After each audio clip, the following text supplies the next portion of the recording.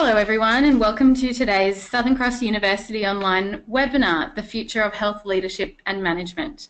My name is Amelia and I'll be your moderator for today and we're delighted to have so many of you join us and taken 45 minutes out of your day to learn a little bit from our resident expert, Dr. Louise Horstmanshof. Um, before we get started, I do have a little bit of housekeeping just about how to use GoToWebinar. So as you will have worked out, all attendees are in listen-only mode, so everyone's on mute. That means that the best way to ask us a question, and we would love to hear your questions, is to use the question tab on the GoToWebinar control panel, which is typically located on the right-hand side of your screen. Throughout the presentation, if you type your question in there, we'll come to those at the end. If we don't get to your question, we will contact you afterwards to follow up. Um, also wanted to let you know that the session is recorded, so if you've got a friend or a colleague that really wanted to be here today but couldn't make it, please feel free to share the recording with them. Similarly, if you're at work and you get interrupted or something like that, you will get the recording tomorrow. Um, we do also do a survey at the end and we'd love to hear your feedback. So the survey will pop up automatically and looking forward to hearing everybody's feedback about the session. Okay. So today, in the next 45 minutes, we're going to learn about the future of health leadership and management from Dr. Louise Horstmanshof. She's our resident expert from Southern Cross University and works with us on the Southern Cross University Online Master of Healthcare Leadership. We'll also at the end come through and look a little bit at some of the healthcare degrees that we offer. So a number of people on the line have already started studying with us a lot of people are thinking about studying or previously inquired about one of our online degrees. And a number of you might be new to Southern Cross University but thinking about postgraduate study in the near or distant future. So we will cover a little bit about how you can continue to study with us. And then, as I said, we'll come through to the question and answer at the end. So before we jump into that, I would love to learn a little bit more about the audience that we have today. So I've got two quick polls for you. Um, the polls will pop up automatically. So the first thing that we're going to see is what your profession is. So get in quick and let me know what your current profession is. Love to hear what you're doing, what you're qualified as. Bit of a mix in there. Just a couple more seconds to pop in your answer. And we might just close it off there. Right. So that's what we've got dialing in today. So we had 58% of you are working in nursing or midwifery, 17% in allied health, 12% health administration and management, 7% education, and 7% other. So a bit of a mix, a bit of an emphasis on nursing and midwifery there, which is great. One of the largest professions in Australia, so great to see that. Now the next question, just a bit of a get to know you. Um, just go live with that one. So where are you based? So again, quickly pop your answer in. Bit of a distribution. Some people are still in their morning, some are in the afternoon, like New South Wales and Victoria. Just a couple more seconds and we'll just close that off there. So here we go. 38% of you are based in Queensland, so um, sunny Queensland up there north till the morning. Um, New South Wales and Victoria, about half of us are based in uh, New South Wales, ACT, Vic and Tas, and then South Australia, WA, Northern Territory, and no one from overseas today. So that's great. Thanks so much for sharing. Okay. So a little bit about us then. So Southern Cross University had its beginnings in the 1970s as a teachers college and was established as a university in 1994. We have campuses at the Gold Coast, Lismore, Coffs Harbour, hotel, hotel schools and branch campuses in Sydney and Melbourne. And we obviously run Southern Cross University online, which has students from across Australia and more than 60 countries around the world. We were, the, we're one of the pioneers in online learning, and over the past 23 years, we've developed online learning um, and have had more than 5,000 students each year enrol in our online courses. Southern Cross University Online and the degrees that we'll be talking about later on today was established specifically to cater for working professionals and enable people to go and get that master's degree that they've always wanted while working full time. So I'll share a little bit more about that today. Now I'm going to introduce our esteemed uh, expert, my colleague Dr. Louise Horstmanshof. Louise is the postgraduate framework lead in the School of Health and Human Sciences. She's also the course coordinator for the Master of Healthcare Leadership and has a wealth of experience in leadership and healthcare. And she'll be sharing some of her insights and um, some of the trends and knowledge and research in healthcare leadership with us today. So welcome, Louise. Thanks for sharing. Thank you, and hello, everybody. Um, I'm very glad that we had the poll, so I know not to say good afternoon. Um, I'm, I'm so delighted to be talking to you today about two areas that are very important to me and, and I hope to you as well. The one is the uncertain future and the mysterious future, perhaps, of healthcare, where it's going, what's happening there. And then something else that's really, really important to me is preparing for the leadership and management in health. So it's my pleasure to be with you today. Fantastic, Louise. So I might let you get started then and share all this wonderful research that you've prepared for the session today. Thanks, Amelia. So um, I'm hoping in the time that we're together we'll be able to talk about leadership in health and how that might be a little bit different from management, having a look at the changing nature of healthcare worldwide, but mostly in Australia, considering the challenges and perhaps the policy drivers for that change, having a look at professional capabilities and considering what the impact of technology might be on the leadership and management roles of the future. And basically what we're looking at is how do we prepare for an unknown future?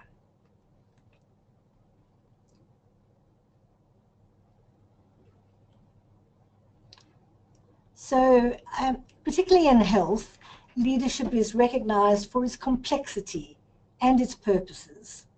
Leadership has been studied for many, many years, and there are very many theories about them, and they keep being modernized. And so, you know, it's good that we acknowledge the complexity. It also has various purposes in different times, but basically health leaders strive to improve the clinical and quality of life indicators and in doing so, the well-being of the entire health system. They're all part of it. And good leadership, all leadership, but good leadership affects people positively. It adds to their satisfaction. It secures the trust in the management. Um, it gets commitment, and it looks to both individual and team effectiveness. And of course, as you would imagine, it has an impact on the culture and the climate of the organization. Importantly, it plays a pivotal role in drawing people towards a central goal. Um, this uh, explanation came from Health Workforce Australia. They have been disestablished, but they did leave us a wealth of wonderful research um, for which we're very grateful.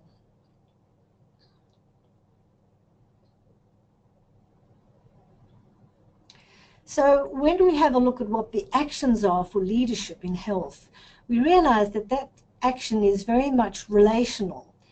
There's an emphasis on building shared understandings with the purpose of enabling change and dealing with challenging issues. And that came from the HETI Health Leadership Framework that was um, written up in 2013.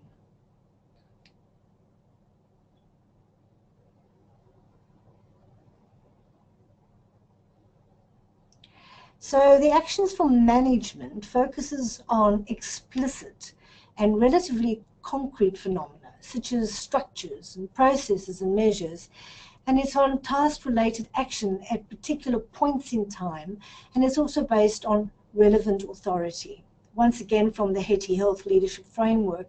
And as you can imagine, there's a certain amount of management in leadership and a certain amount of leadership in management.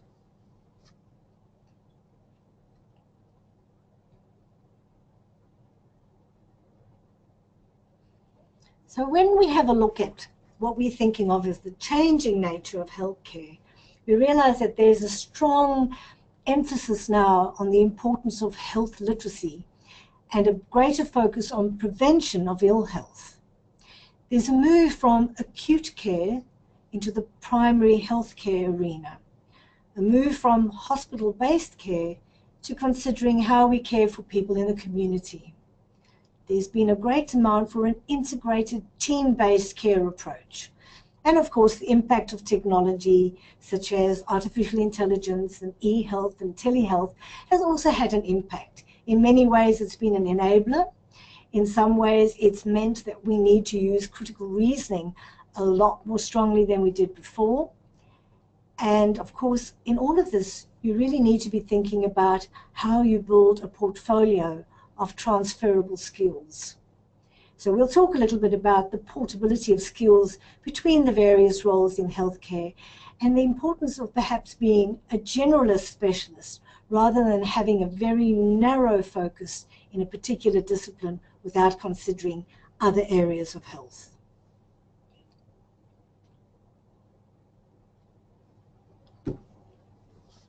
So our challenges, as probably won't come as a surprise to you, is the change in demographics, where we seem to have an aging population.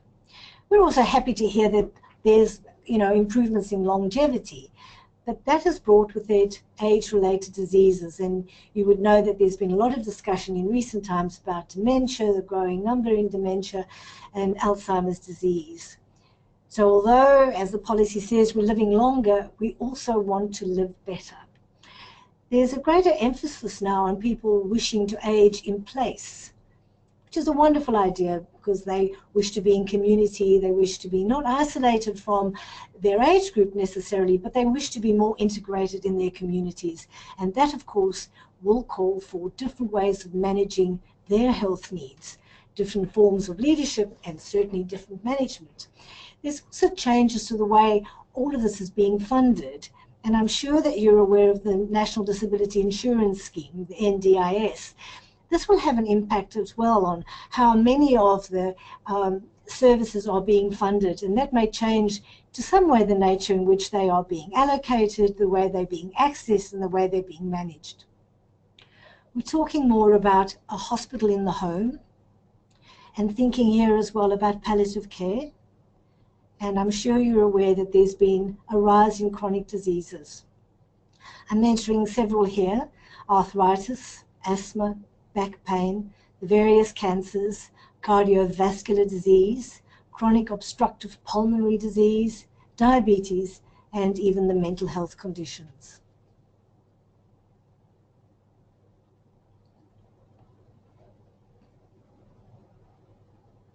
So what are the major policy initiatives that are driving demand for new service delivery models? Well, there's more and more talk about an integrated, joined up approach to care. There's greater emphasis now not only on the patient or the client, but on the whole family. It's calling for an interprofessional team-based delivery. And we're looking at innovative uses of both new and older technology. We're looking at collaboration across both the private and the public sectors. And we're looking at the commissioning of services. So again, you'll see that this is going to call for um, management and leadership in slightly different areas. It's going to open it up. It's going to offer more opportunities, but it's going to bring its own challenges.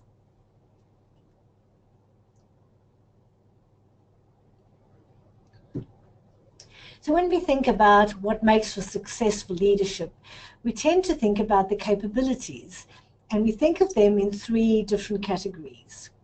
Very important and important for leadership are the personal capabilities, your own abilities to be aware of yourself and how you interact, the self-awareness, self-regulation, being able to deal with difficult situations and be in control of yourself, decisiveness and commitment. We talk about those interpersonal capabilities, your ability to influence groups of people, to get them to understand what your ideas are in an area, and when you think that something's important, help them understand why you think it's important. And also, very, very important, your abilities and your cap capabilities to empathize. And not to forget the cognitive ones, your abilities and capabilities to diagnose, to have different strategies and importantly to be flexible and to be able to be responsive when cha things change in your situation or in the situation you are either leading or managing.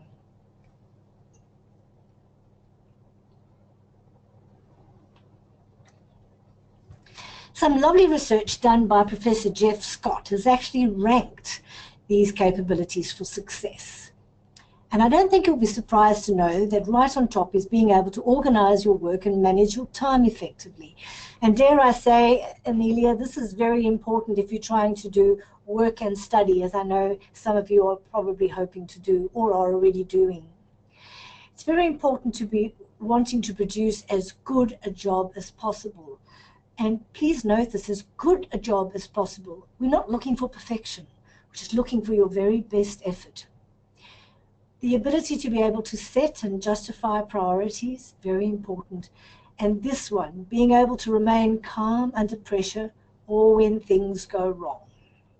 What do they say about judging people about how well they are able to untangle the Christmas lights?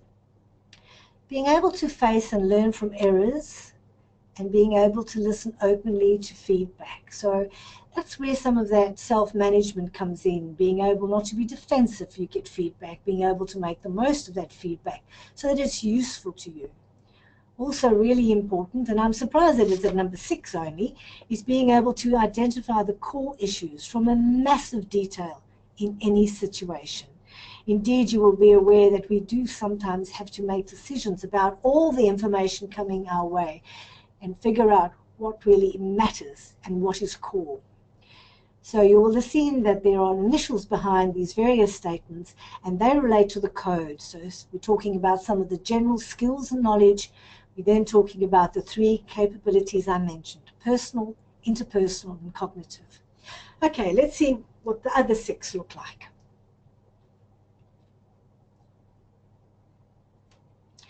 Being able to work with staff, senior staff, without being intimidated.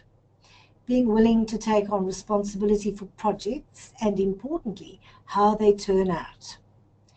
Being able to develop and contribute positively to team-based projects. Team-based work and team-based university work and team-based anything comes with a really large set of challenges.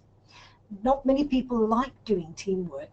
Many people realize after they've completed something team-based how much they've learned from each other and about themselves. So really important there and important as we go forward and important when you think about your roles as a leader or a manager is an absolute importance in having a willingness to persevere when things are not working out as anticipated.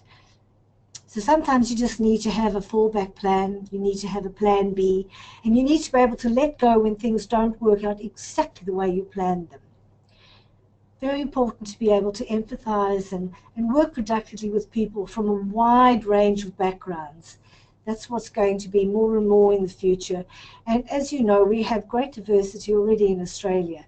But if you start thinking about working in communities and working with different people and working with NGOs and working with um, colleagues from different areas, you realize how you're going to need to be able to understand their points of view so that you can work productively with them. And importantly, being able to develop and use a network of colleagues to help you solve some of the key workplace problems that you may encounter.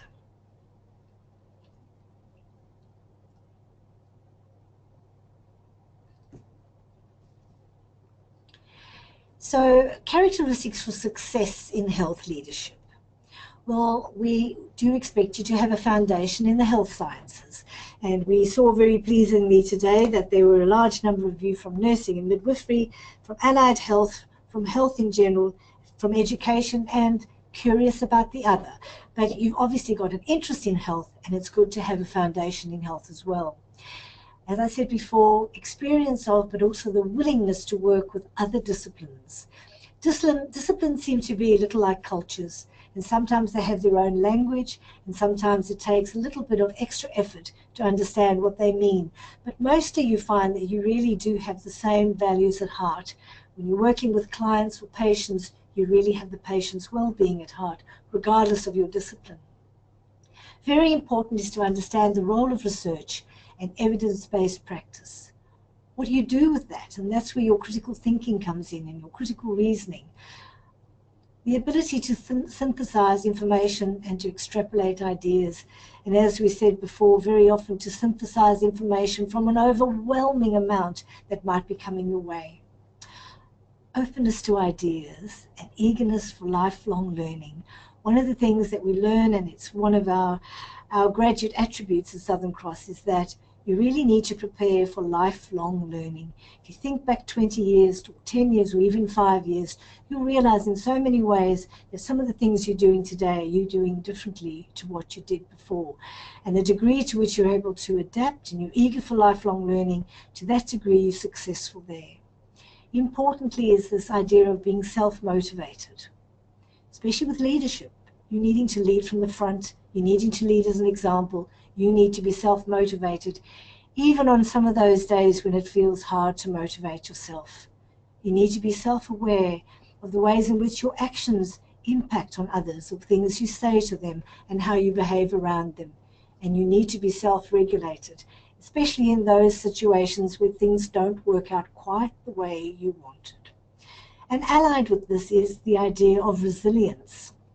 And here I like to think of us working towards mastery rather than performance. And the research tells us that people who are into gaming are much better at this than those of us who play the old games. So let's think for a moment about one of the older games, like chess. Clearly a winner and a loser. Let's think about mastery in the games you might play online. You get to a point and it's game over. And what do you do? Mostly people go back on again and try to improve their own score working towards mastery. Useful there and also useful in many of the things, especially when you start tackling something new for the first time in your life, when you go back to study after a long time, when you start looking at something that you haven't looked at before. It's being able to think, okay, this is how much I know now. Oh, I know more than I knew yesterday. I'm working towards it. Importantly, the ability to give and also receive constructive feedback so constructive feedback, the kind of feedback that helps people make changes and positive changes. And in all of this, you'll see the importance of being collaborative and adaptable. Those are our characteristics for success in health leadership, but probably in many other areas as well.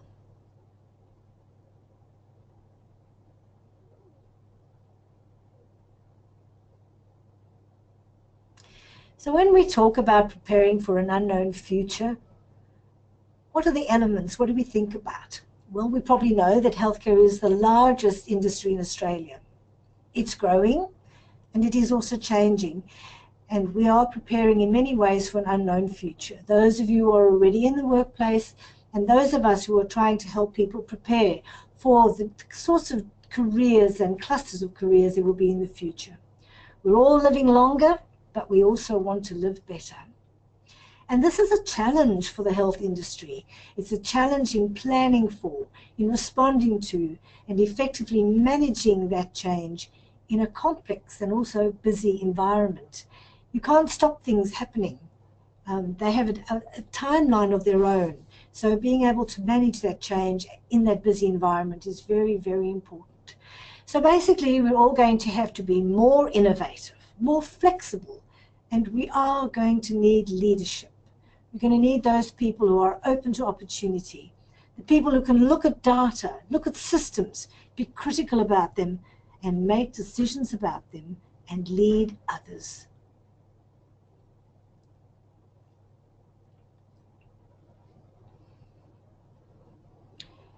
We talk a little bit about technology, and I don't know how many of you are aware of IBM's Watson. So if you think about IBM and you think about instances like Wikipedia and Google, and you know how much we rely on Google these days, well, think of artificial intelligence in the shape of Watson, and now Watson Health, who has, at a click, all of that information. How can we use that to best effect those of us who are health professionals? What role will that play for us, and how can we harness it? We know that we are collecting huge amounts of data. So the big data mining is becoming more and more important. And research shows that there are deep mind apps, and these are being designed specifically for healthcare professionals. Some of these apps are being used to alert them to emergencies or to look at data and alert them to risks. They estimate that the use of artificial intelligence in health will increase tenfold in the next five years. Something to keep in mind and something to be aware of. You probably already know about e-health, and you're probably also aware of the ways in which we're able to use telehealth. One of the ways that it's being used very successfully is in aged care facilities, where they're able to go into telehealth, get some help there, rather than putting the poor older person into an ambulance and taking them to an already overloaded A&I um, department. So telehealth is probably going to grow, but it's going to be important for us to inform how we want that to grow and how we will use that.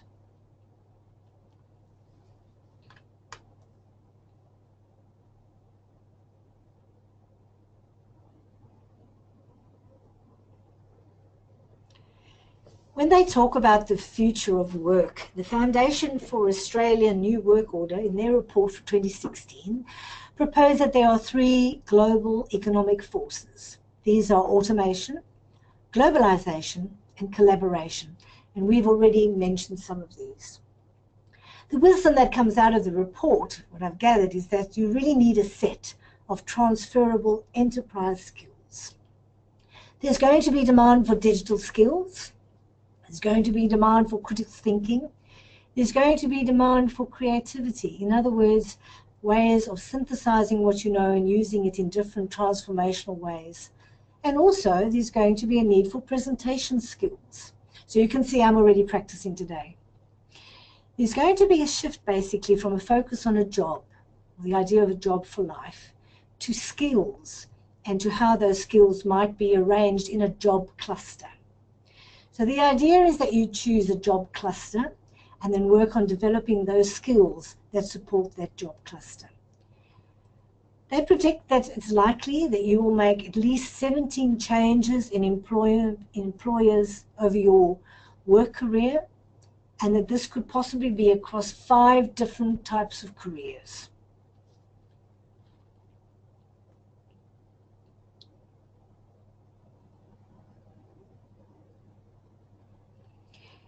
They talk of seven new job clusters in, in Australia in particular. And so I've listed them here with some idea of what they might look like. And the ones that I'm particularly interested in are the ones where I've put them in bold. So starting with the idea of a generator cluster. And that's going to require a higher level of interpersonal interaction. A coordinator cluster, those are for people who work in administrative and behind the scenes processes. The artisan cluster, well, there's always going to be a need for some manual tasks, no matter how much automation we get. And these might be related to construction, production, maintenance, or even technical customer services. There's going to be a need for a design cluster. And those are skills and knowledge of science, mathematics, and design. And you can see how those might absolutely generate new ideas in terms of the environments that we might wish to design in healthcare certainly a, techno technologist cluster, so understanding and manipulation of digital technology. A carer cluster, I'm pleased to announce, and they would be seeking to improve both the mental or physical or the well-being in general of others. And this includes, of course, our medical care and personal care. And then there's the informer cluster. Those are the ones who provide information, education, or business services.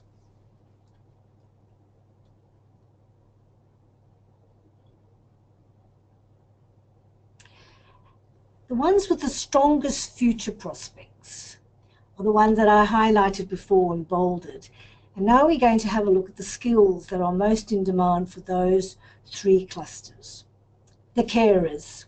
They're going to need interaction skills. They're going to need problem solving and organizational skills. They're going to need to know how to work successfully in teams. They're going to need how to use research, how to find it, how to assess it, how to imply, implement it. They're going to need a lot to know a lot about planning and, of course, time management. The informers, interestingly enough, are also going to need interaction skills and problem-solving skills. And they're going to need detail, organizational, and orientation skills. They can't do that without good communication skills. They're also going to have to know and have digital literacy and no research. Appreciate research. The technologists, interestingly, also need interaction skills and those detail orientation skills because they're going to be involved a lot in the planning and the quality assurance and the project management. And you can see how this is going to speak to your leadership skills that you need and to the management skills that you need. I thought it was interesting to see how often these inter interact and overlap even in three different clusters.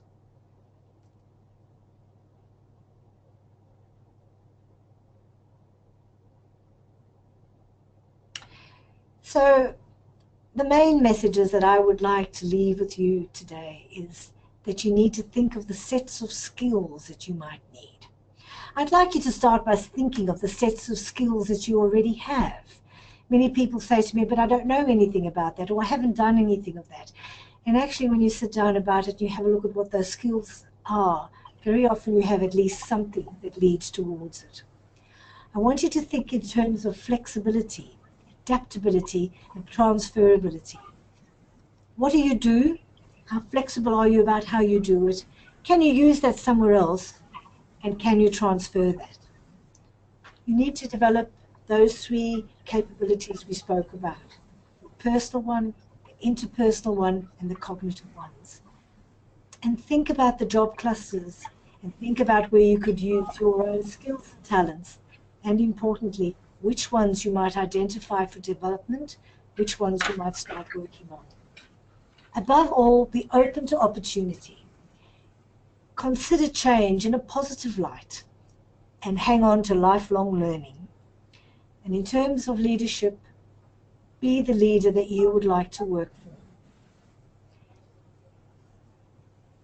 Thanks so much, Louise. That's been immensely interesting and valuable and you know, even, even as a marketing professional, I can see the transferable skills and the changing nature of everyone's workplace and the impact of technology and an aging population and the fact that we may well have up to five careers in our lifetime. Uh, when you think about some of the research and um, some of the sort of things that are trending at the moment in topics like the 70 year career, I can see the implication not only for healthcare but for everyone to really be constantly learning and picking up those skills. Um, so interesting about interpersonal skills being relevant to all those job clusters and just being that you know flexible, adaptable learner that's ready to jump into their you know fourth, fifth career in their lifetime. So thank you so much for sharing. Um, now, as people have kind of gone through, if you do have a question for Dr. Louise Horstmanshof, please pop it in the in the questions box on the right hand side of your screen. We'd love to hear from you. If you're sitting there thinking, how do I continue to learn from Dr. Louise Horstmanshof and you know, this has really sparked an interest in me and I'm thinking, how do I get to see more of a foundation of healthcare leadership and learn and prepare myself for the future of healthcare? Um, we do have two online degrees that I'm going to talk to you about today that are uh, relevant for healthcare professionals and people interested in healthcare. So they are the Master of Healthcare Leadership, and we also do the Master of Business Administration with the Health Services Management specialisation. So I'll go through a little bit about each of those because it could be a great opportunity to continue learning with us. So in both instances, both of those degrees are 100% online. So wherever you're based, um, you'll be able to access our learning environment. You'll be able to network with your peers who are also studying the same degree. Um, there's no limitation anymore. It doesn't matter if you're based in Outback Australia or on the other side of the world or in downtown Brisbane, you'll be able to study with SCU online. And we are um, compatible with any device. So we have students that log on through their iPad or even their iPhone most of the time or an Android device. And then perhaps you do your assignments on a computer, but you've got access to that learning environment all day, every day. We do have an interactive element in our learning environment. So you can network with your peers and you can make comments and um, really understand what other perspectives there are on that particular topic or how are people going with the assignment. You don't necessarily have to find time the same time every week. You can jump in and out and make comments and discuss the content with your peers and with your facilitator and then um, jump back in when you've got some time after work or at your lunch break or on the way to work um, and see what the chat has kind of got to throughout the day. Throughout the online learning experience, you'll also have a dedicated student success advisor. So that's in addition to the academic support through the course coordinator and the facilitator. The student success advisor provides non-academic support. So they're your go-to person for things like how to access the learning environment or how to get access to Blackboard or I'm really nervous because I haven't been at university in 10 or 20 years, or perhaps I was a hospital trained nurse and I've never really set foot in a university and you know I don't know about referencing and I need some of those kind of basic university skills, the Student Success Advisor will reach out to you on a regular basis and really be your non-academic support person for the life of the degree. So that's a huge um, benefit to studying online and it sort of takes away that potential to be isolated or feel like you don't know where to get help. With our online uh, degrees, we do offer six study periods a year, so it's an accelerated part-time model. So you take one unit at a time, and you'll take six in a calendar year. If you've got a holiday or some busy time at work, you can take one study period off and come back in the next one or what happens to suit your schedule. But we used to think of, you know, starting things in February and July, and now we can start the degree six times a year and get it done really fast because we're doing six units in a calendar year. In terms of um, fee help and uh, financing the degree, you pay for each study period as they come about. So you're not paying upfront for the whole degree, you're paying as you go. And if you do need fee help through um, the tax system, um, that's available to el eligible students. So it can be a good way to finance the degree. So just a little bit specifically about each of the degrees. So the Master of Healthcare Leadership, which Dr. Louise Horstmanshof is the course coordinator for, it's really designed for that interdisciplinary healthcare leadership perspective. So thinking about all of the best practices in healthcare leadership and learning alongside nurses and midwives and allied health professionals and um, some medical professionals and even um, vets from time to time. We've had vets apply and enroll in the degree. So um, really that broad interdisciplinary approach and thinking about how do I sort of manage an interdisciplinary team for the best outcome for the patient, um, which this will be the degree for you if you're interested in that. It is a two-year degree in that part-time accelerated model and you've got 12 units to complete.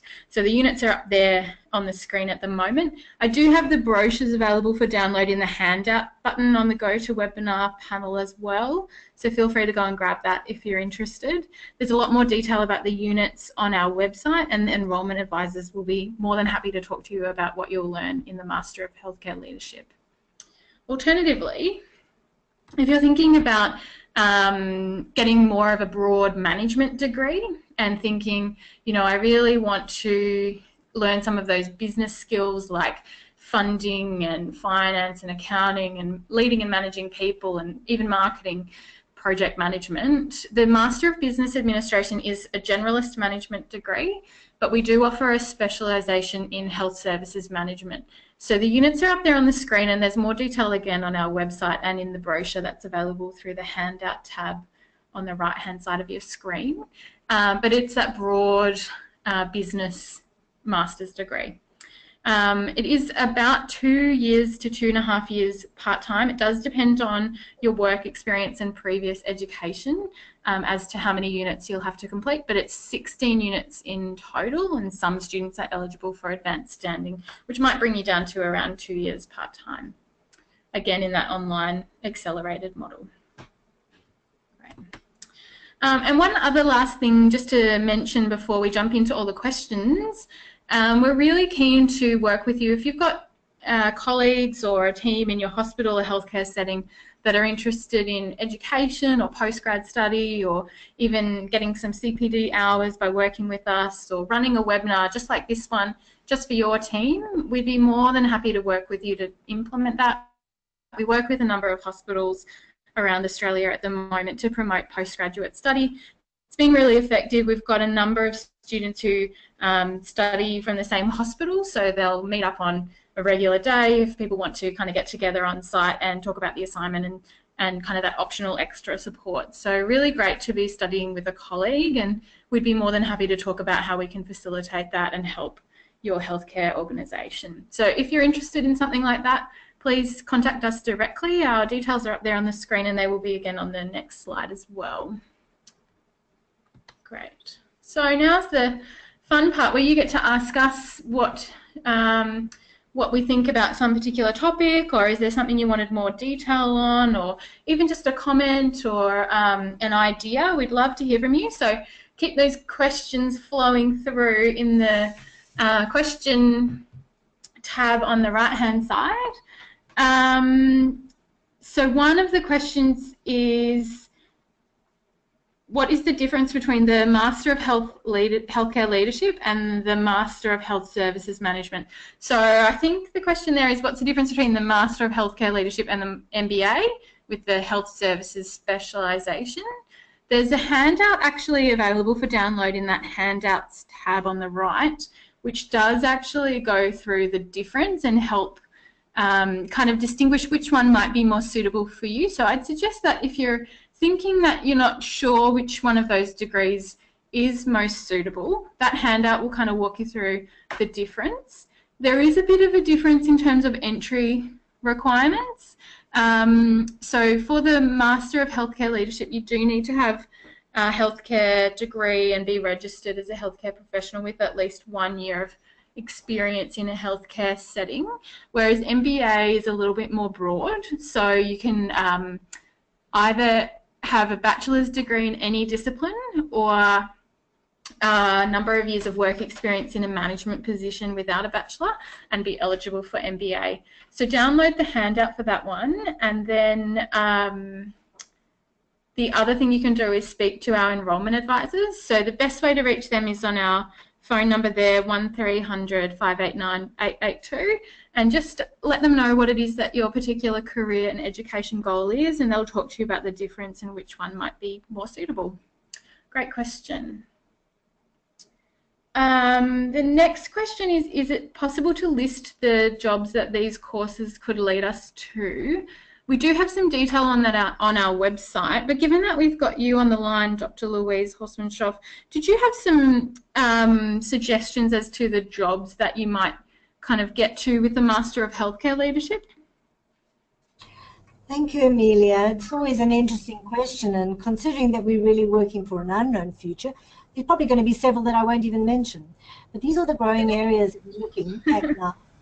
And um, uh, most people come from a situation where they've already worked for some time in leadership or management roles. So they've got some experience, but they haven't ever got the position and they haven't ever got the pay or the title that goes with it because they haven't had the credential basically. And so getting that opens up some of those doors. So it can be more than a team leader. There are many um, new positions that are opening up in the areas like in the aged care facilities where they are managing bigger and more diverse areas where they both have residential and perhaps they have community. Um, they might have um, care for the home, all sorts of things. So a lot of those are opening up.